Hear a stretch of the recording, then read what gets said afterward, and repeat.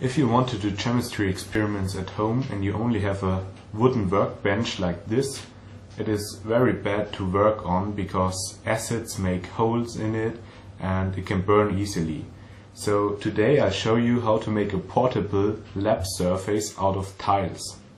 You can get all the things you need in a local supply store or do-it-yourself market.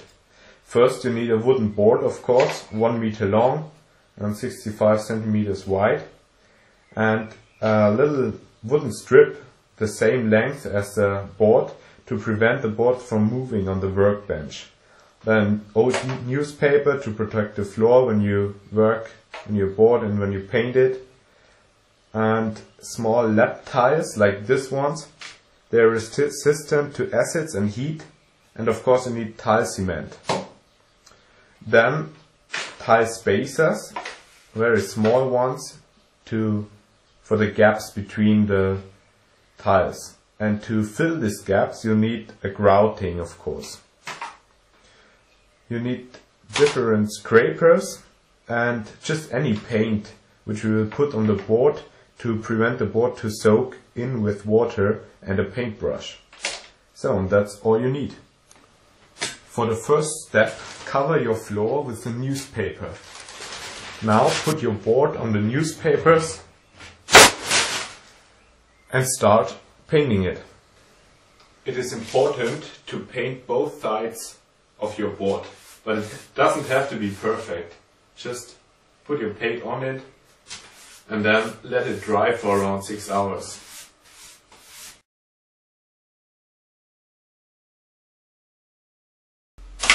When one side has dried, go on by the other one.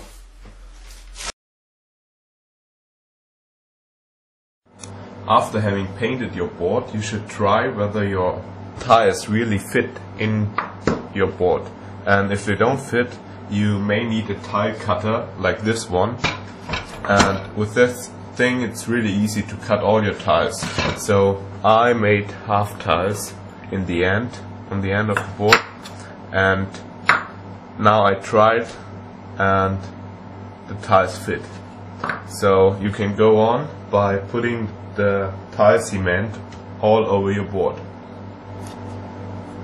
Use a trowel to spread the tile cement all over your board.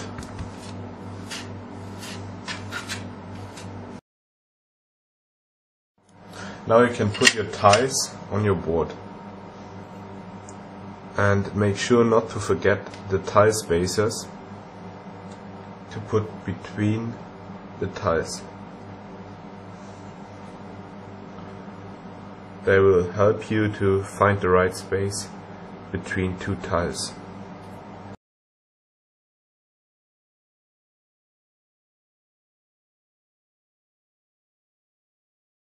When you finish with the tiles, you can put some screws at this side of your board and um, to attach the wooden strip so that the board doesn't move later.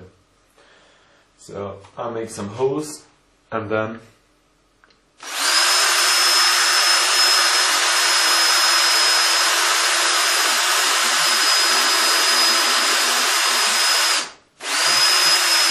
and then put the screws inside. Now it should look like that. I don't think that this step is necessary, but on the other hand it is pretty useful. The last step is to mix the jointing material together with some water.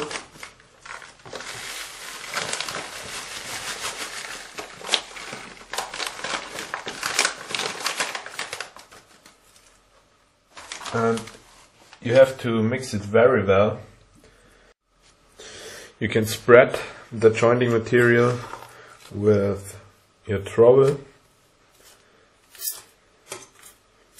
Or if you want with one of these. I think it's more easy.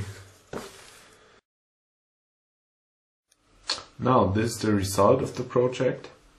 Uh, it worked pretty good. I'm happy with that. Uh, for around 50 euros I think it's okay. For a professional lab surface you pay around uh, 200, 300 euros. And um, yeah I worked around two hours. I think it's okay. Yeah I hope you like the project. And please like comment and subscribe